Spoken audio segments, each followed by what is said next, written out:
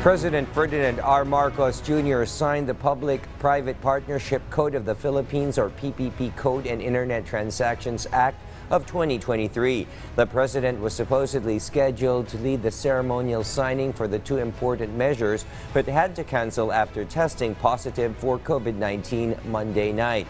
Thus, the chief executive filed the landmark bills while in isolation at the Bahay ng Pangulo. The PPP code will establish a set guide for collaboration between the government and private entities, while the Internet Transaction Act will help the Filipino people achieve a digital economy by providing the necessary mechanisms for it.